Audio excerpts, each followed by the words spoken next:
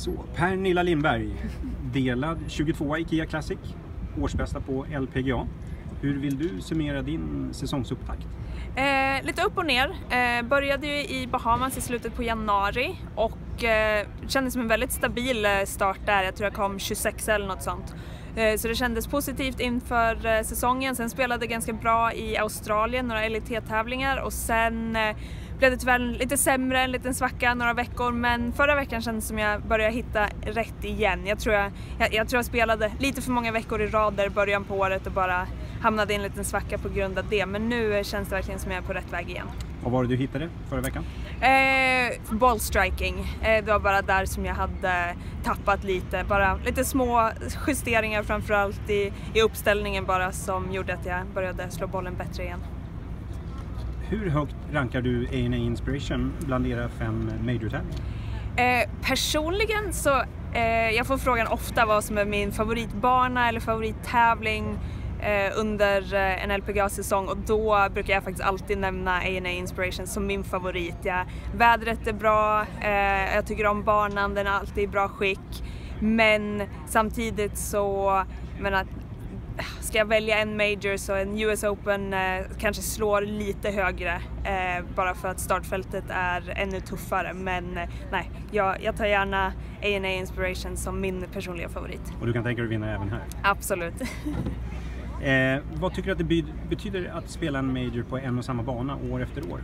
Eh, den ger, det ger lite mer tradition tycker jag. Samma som killarna har masters. Eh, folk känner igen eh, avslutningshålen eller karaktäristiska hål. Eh, det tycker jag gör eh, att det bara känns lite mer unikt. Att eh, folk verkligen känner igen banan man spelar. Och vad är nyckeln till en bra rond där ute?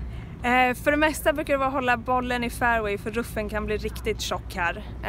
Sen ser man att du, du behöver alltid sänka puttar, det spelar ingen roll vilken bana du spelar på men framförallt rak från tee. Du har tre raka topp 21 placeringar i A&A. Vad är det som gör att du trivs så bra? Eh, som jag säger, jag, jag bara gillar stället. Jag har alltid gillat banor i öknen. Jag, redan när jag spelade på college så tyckte jag jag spelade bra när vi var på ökenbanor i Arizona och liknande. Så det bara ger mig en positiv vibe. Men annars, eh, jag tror när jag är forcerad att behöva slå bollen ganska rakt från 10 eh, här så har jag lyckats göra det också. Och sen så min puttning eh, håller alltid en hög nivå och grinerna rullar så otroligt bra här så jag brukar känna att jag kan få bra utdelning på grinerna delad femma i US Open 2015 är din främsta major-placering. Kan du putsa den noteringen i veckan?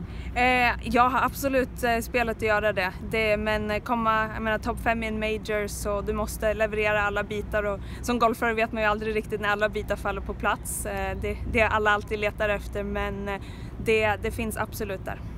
Hur mycket inspireras du av att Anna Nordqvist vann eh, senaste majorn i Evian? Eh, det, alltså Anna är ju självklart eh, vår, vår, bästa spelare, en grym spelare men eh, det, for, att fortsätta se vilken tradition vi svenskor har i, eh, i den tuffa nu globala ändå golfvärlden, det, det är självklart det ger, ger mycket inspiration att se att lilla Sverige kan eh, leverera så bra resultat.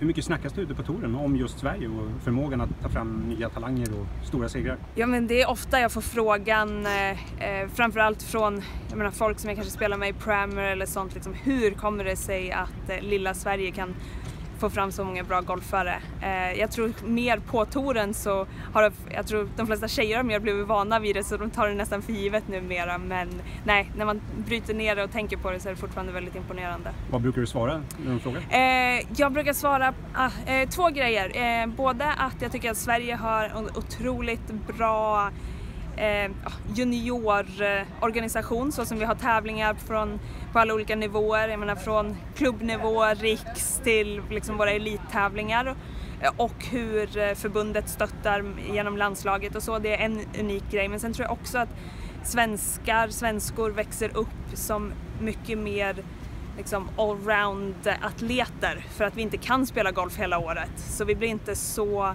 bara fokuserade på att bara vara golfare som om man växer upp i Florida utan vi kanske pysslar med andra sporter och det gör bara att vi blir, blir bättre atleter. Så det är bra med kalla vinter, ja, mycket snö på vintern? Ja, men jag, jag, tror faktiskt det ger en bra balans, eh, i alla fall eh, när man fortfarande är barn. Apropå programmer, eh, ni har en program även under Major, hur ser du på det? Eh, ja, det har blivit bättre och bättre den här veckan. Numera är det bara en niohåls-pram för oss. Så det, jag menar, det, vi måste ta det. Jag menar, vi, vi skulle inte kunna få ta del av prispengarna på söndag om vi inte har våra sponsorer. Så det, det är vår, vårt sätt att ge tillbaka och på den här tävlingen så brukade det vara två prammer så det, på det sättet så har ju spelarna verkligen fått mycket mera tillbaka nu än vad det brukade vara. Så det, man får ge och man får ta. Så det, jag menar, självklart kanske inte optimalt men eftersom det bara är nio hål så, så det, det kan vi leva med. Jättebra. Lycka till i veckan. Tack så mycket.